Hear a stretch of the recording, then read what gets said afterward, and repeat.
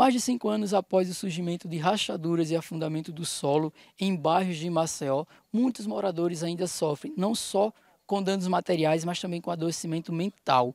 Inclusive, pesquisas de universidades públicas e privadas aqui de Alagoas apontam que já ultrapassa 10 o número de pessoas que tiraram a vida. Outros seguem lutando por reparações justas. A mineração em Maceió não causou só problemas ambientais e nem econômicos, ela também afetou o emocional de muitos moradores dos cinco bairros atingidos. A dona Andréa Carla é uma ex-moradora do bairro do Pinheiro e vai relatar para a gente um pouco da sua história no bairro e como sua vida foi afetada e de sua família. Olha, é, eu morei no bairro do Pinheiro durante 44 anos.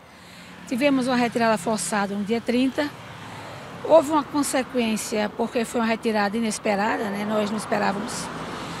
Minha filha adoeceu, é, entrou em crise de ansiedade. Quando chegou no mês de janeiro, teve um sangramento por 10 dias. Levou uma consequência de precisar de um tratamento psicológico. É, até o mês de maio, estava fazendo tratamento de reposição de ferro, né? Que essa, esse sangramento ocasionou uma anemia. Meu filho saiu de casa, voltou é, a morar comigo na medida que eu aluguei um apartamento aqui e teve uma modificação muito grande de vida em todos os sentidos. É, imóvel, né? Eu estou num espaço muito reduzido, tinha uma casa grande, agora estou morando num apartamento, acho que de 65 a 70 metros de área construída.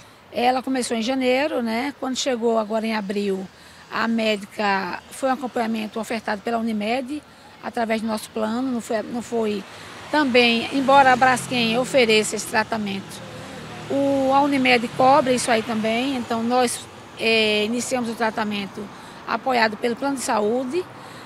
A médica afastou-se do plano e eu estou aguardando que ela passe o novo endereço para ver se a minha filha permanece em tratamento ou se ela vai dar alta. E a senhora atribui esse caso dela, essas crises de ansiedade, justamente a esse crime da Braskem, é isso? A retirada forçada.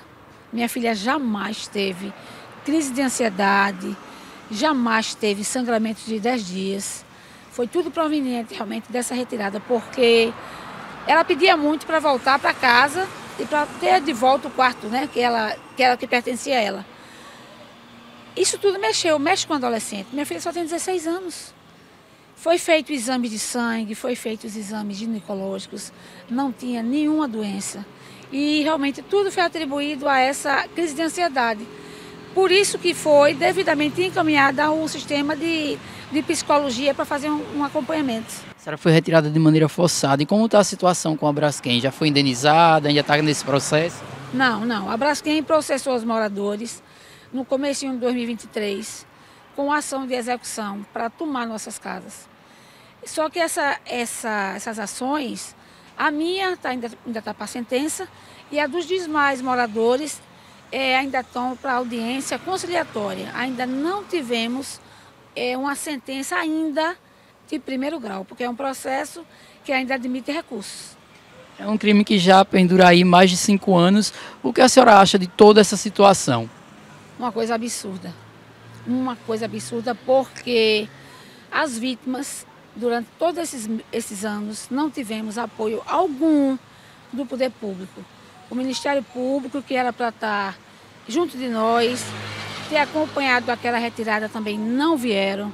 Nunca conversaram conosco para saber como é que está a situação hoje desses moradores. Nós não temos apoio de ninguém. Hoje eu faço um apelo a, a